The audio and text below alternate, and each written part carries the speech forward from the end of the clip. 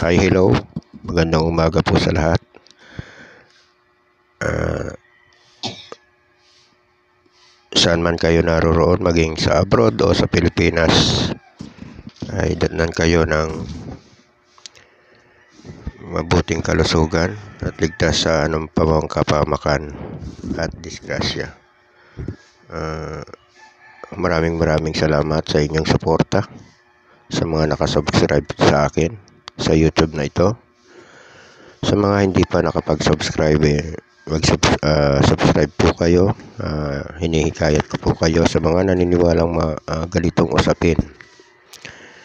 Uh, pakipindot na rin po ang notification bell para lagi po kayong updated sa lahat ng video na aking ina-upload.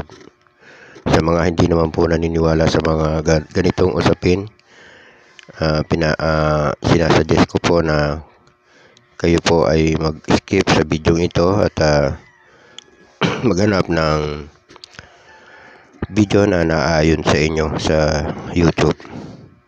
Uh, respeto na lang po para sa inyo. Saka po ako naman manggagamot at uh, albularyo eh purihin na po natin ang Panginoon at uh, naway lagi tayong ligtas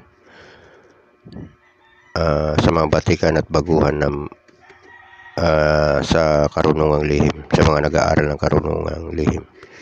Akin pong i-upload ang isang uri ng kahoy sa video ito ay yung itong sinukuan na kahoy. Ayan po. May uh, ang kahoy na ito ay sa sinukuan. Yan. Meron kahoy na sinukuan na baging yung may cross sa gitna ayan po yung cross sa gitna. May baging po nito mas sa sinasabi nila eh mas maganda raw yon ang ang orasyon na ito ang orasyon nito ay nasa sa dulo ng video ito. At uh, akin pong isesend uh, ay attach dito sa video ito. Eh, sa mga ano uh, nagagamit po ito sa mga taong maldito o maldita yung matitigas ang loob.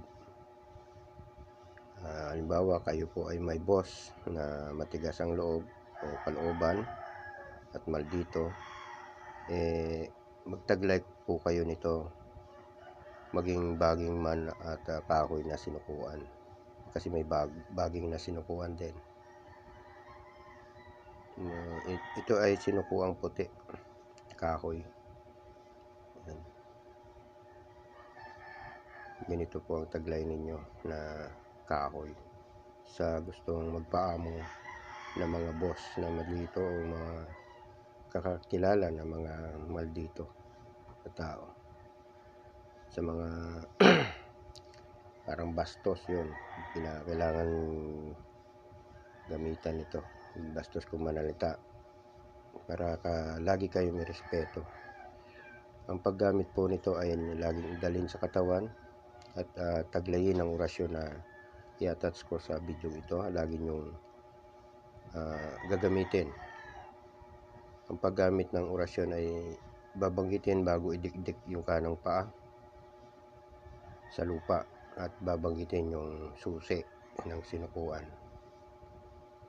Uh, sana po ay makuha po ninyo ang orasyon nito at uh, sa gusto mo naman kumuha nito ng mga katulad nitong kahoy na sinukuhan, maghanap lang po kayo sa